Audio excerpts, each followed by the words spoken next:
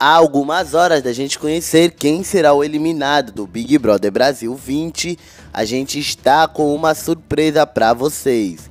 As enquetes, além de darem uma reviravolta, já mostram quem pode ser o próximo eliminado. Antes de mais nada, eu quero pedir que você deixe o seu like nesse vídeo, se inscreva no nosso canal e, claro, compartilhe o link da notícia, para mais pessoas ficarem ligadas nas novidades do Big Brother Brasil. A gente vai começar então dando o resultado de algumas das maiores enquetes da atualidade. A gente vai começar pelo YouTube. A gente vai começar pelo canal Web TV Angolana. Lá, Guilherme tem 48% dos votos, enquanto Pyong tem 42% e Gisele apenas 10%. Foram apurados mais de 4 mil votos. Já no Web TV Brasileira, Guilherme tem cerca de 66% dos votos, enquanto que Pyong tem 30% e Gisele cerca de 5% dos votos, mais de 86 mil votos.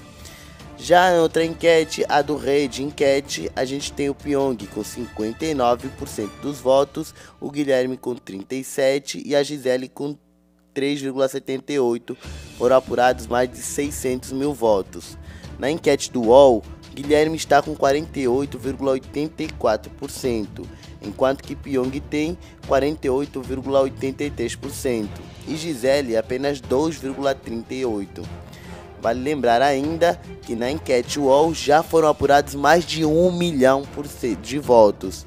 Ou seja, a percentagem que está de Guilherme para Pyong, além de ser a primeira vez que Pyong está em último, mostra que, Pyong, que Guilherme seria eliminado com diferença de 0,1%. A gente quer saber de vocês. O UOL também lançou uma matéria sobre Pyong, 5 motivos para Pyong ser eliminado.